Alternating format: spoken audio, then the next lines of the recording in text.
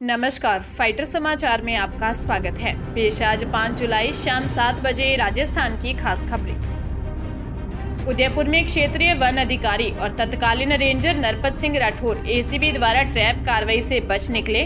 बताया जा रहा है कि भनक लगने से पहले ही भ्रष्टाचारी सतर्क हो गए। ऐसे में कार्रवाई सफल नहीं हो पाई।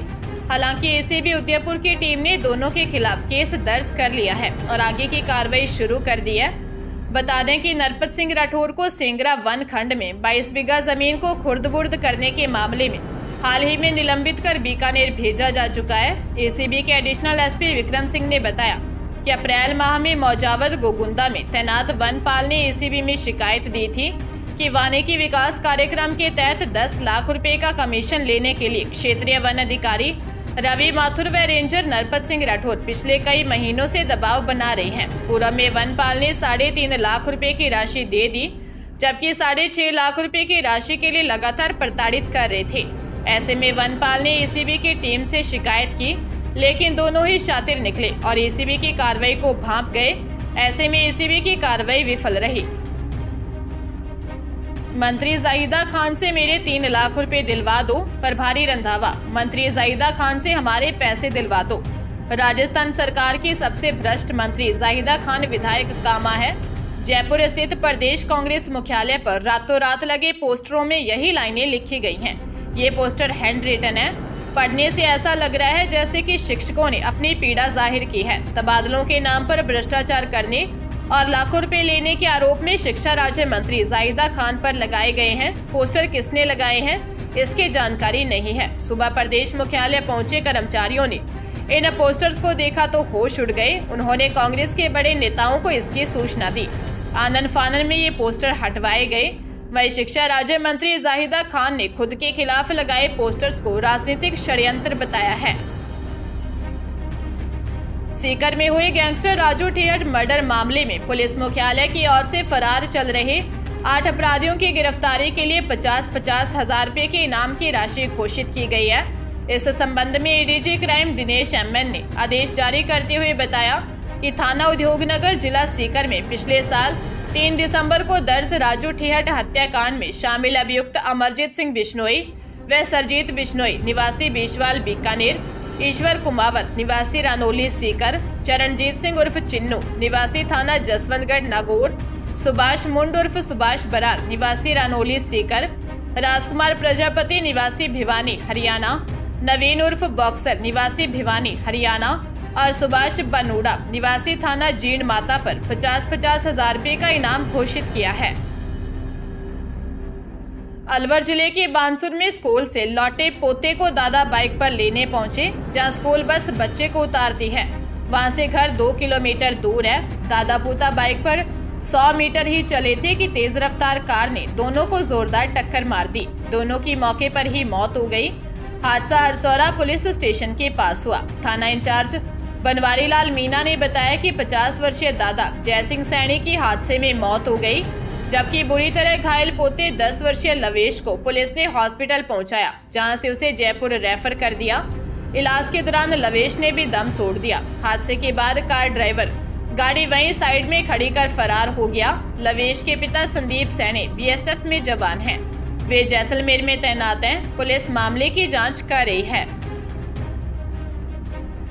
दौसा ज़िले में गौ तस्करी के। 11 साल पुराने मामले में सीकराए एडीजे कोर्ट ने कंटेनर चालक एवं खलासी को सात सात साल व कंटेनर मालिक को 25 वर्षीय बबलू, निवासी मंसूरपुर, यूपी को तीन साल की सजा सुनाई है। प्रकरण मानसूर थाना क्षेत्र का है, जहाँ साल 2012 में जयपुर आगरा नेशनल हाईवे पर गौ तस्करी का मामला सामने आया था।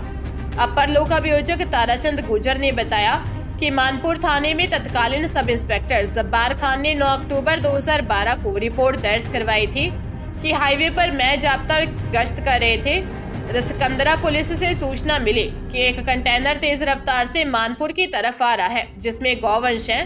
पुलिस ने बैरियर लगाकर नाकाबंदी की तो कंटेनर चालक नाकाबंदी देकर सर्विस रोड पर ले आया तथा डिवाइडर को तोड़ता हुआ एक ट्रक से। टक्कर देता हुआ थाने के बाहर नाले की दीवार पर चढ़ गया। पुलिस ने चालक 25 वर्षीय साने आलम, निवासी मुरादाबाद व खलासी 24 वर्षीय यासिन शरीफ, निवासी रामपुर को दबोच लिया। कंटेनर में 35 गाय एवं बछड़े बेरहमी से ठूस ठूस कर भरे हुए मिले, जिन्हें मुक्त करवाने की कार्रवाई की गई। लेकिन तीन गायों की मौत हो गई। रेवेन्यू बोर्ड अजमेर के दो सदस्यों व एक अधिवक्ता को जिस फ़ोन रिकॉर्डिंग के आधार पर एसीबी ने गिरफ़्तार कर कोर्ट में चालान पेश किया था, उस रिकॉर्डिंग को हाईकोर्ट ने नष्ट करने के आदेश दिए हैं। जस्टिस वीरेंद्र कुमार की एकल पीठ ने यह रिपोर्टेबल जजमेंट शशिकांत जोशी की याचिका पर दिया। हाईकोर्ट की जयपुर बेंच ने कहा, बिना कानूनी प्रक्रिया अपनाए किसी भी व्यक्ति का फ़ोन सर्विलांस पर लेकर रिकॉर्ड करना निष्ठा का हनन है। हाईकोर्ट ने इस मामले में याचिकाकर्ता का फ़ोन सर्विलांस पर लेने के गृह सचिव के तीनों आदेशों को रद्द कर दिया। वही एसीबी को निर्देश दिए कि वह इस मामले में की गई रिकॉर्डिंग मैसेज और उसकी समस्त कॉपी को नष्ट कर इसके साथ ही याचिकाकर्ता के खिलाफ लंबित आपराधिक मामले में इस रिकॉर्डिंग के इस्तेमाल करने पर भी रोक लगा दी है। एसीबी ने 10 अप्रैल 2021 को रेवेन्यू बोर्ड अजमेर में posted senior RS BL Mehrda RS Sunil Sharma और दलाल वकील शशिकांत जोशी को गिरफ़्तार किया था। पाली में संदिग्ध हालत में पिता पुत्र की मौत हो गई। घटना आग की तरह गाँव में फैल गई। दोनों ही जहरीले जानवर के काटने से मौत होने की बात सामने आई है। पुलिस जाँच में जुटी है। इधर शाम को गमगीन माहौल में पिता पुत्र की अर्थी गाँव से निकली तो परिजनों के साथ ग्रामीणों की आँखें भी नम हो गई। घटना बगड़ी नगर थाना क्षेत्र के दोरनड़ी गाँव की है। चौंतीस साल के तरुण कुमार दमामी और उसके 12 साल के बेटे मोहित की तबीयत खराब होने पर परिवार के लोग हॉस्पिटल ले गए, जहाँ जाँच के बाद डॉक्टर ने मोहित को मृत घोषित कर दिया और तरुण को सोजत हॉस्पिटल रेफर किया गया, जहाँ इलाज के दौरान उसकी भी मौत हो गई। जानकारी के अनुसार दोनरनी निवासी जगदीश प्रसाद दमामी और उनकी पत्नी रिश्तेदार से मिलने पाली गए हुए थे। जवान बेटे और पोते की बॉडी देख उनका रो रो कर बुरा हाल हो गया। अजमेर के क्रिश्चनगंज थाना पुलिस ने युवती से छेड़छाड़ के मामले में तीन युवकों को गिरफ़्तार किया है। आरोपियों के द्वारा पहले पीड़िता के नंबर पर संपर्क किया गया और बाद में उसका पीछा कर छेड़छाड़ की गई। पुलिस गिरफ़्तार किए गए तीनों आरोपियों से। पुलिस ने मामले में कार्रवाई करते हुए नसीराबाद निवासी 21 वर्षीय जयचंद चौधरी 23 वर्षीय श्रीनगर निवासी सिकंदर और ग्राम कोटड़ी निवासी 28 वर्षीय रवि चौधरी से मामले में पूछताछ कर रही है। पुलिस के अनुसार कंट्रोल रूम से सूचना मिली कि सीएसएम मॉल पंचशील के पास कुछ युवक युवती से छेड़छाड़ कर रहे हैं। सूचना मिलते ही पुलिस जाप्ता मौके पर पहुँच गया, जिसके बाद मौके पर मौजूद युवकों को दस्तयाब कर थाने लाया गया। मामले में पीड़ित युवती ने बताया कि वह योगा मैट लेने के लिए दुकान पर गई थी। इस दौरान तीनों युवकों के द्वारा मैट का बिल बनवाते समय उसका नंबर ले लिया। तीनों युवक उसे कॉल कर योगा सिखाने की बात कहने लगे। बाद में तीनों ने पीछा करने लगे और उसके साथ छेड़छाड़ की।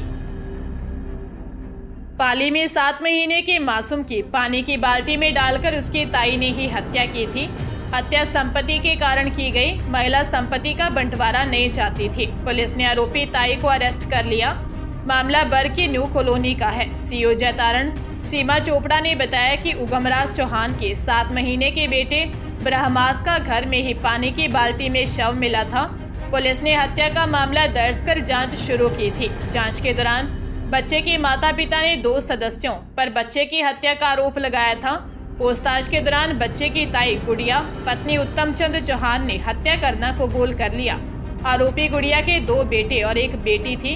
वह चाहती है कि अपने एक बेटे को देवर को गोद दे देगी, जिससे संपत्ति का बंटवारा नहीं होगा। सीकर के सदर थाना इलाके में एक मकान से लाखों रुपए के जेवरात और नकदी चोरी का मामला सामने आया है। जब चोरी हुई, तब परिवार के सदस्य दूसरे कमरे में सोए हुए थे। सदर थाना इलाके के सालम सिंह के ढाणी निवासी श्यामलाल ने बताया कि उन्होंने खेत में ही मकान बनाया हुआ है। रात को परिवार के सभी सदस्य खाना खाकर अपने कमरे में सो गए थे, जिस कमरे में जेवरात रखे हुए थे। उसके बाहर का ताला लगा हुआ था, सुबह कमरे की खिड़की टूटी हुई थी। इसके अलावा कमरे में रखे तीन संदूक के ताले टूटे हुए मिले, जिनमें रखे तीन मंगलसूत्र, दो सोने की अंगूठी सहित अन्य जेवरात व साठ हज़ार रूपए की नकदी गायब मिली। चोर करीब दस लाख का सामान चुरा ले गए। बारां ज़िले के नेशनल हाईवे 27 पर गजनपुरा के पास किशनगंज की ओर से आ रही बाइक अनियंत्रित तो होकर डिवाइडर से टकरा गई। हादसे में बाइक सवार एक महिला सहित तीन लोग गंभीर घायल हो गए।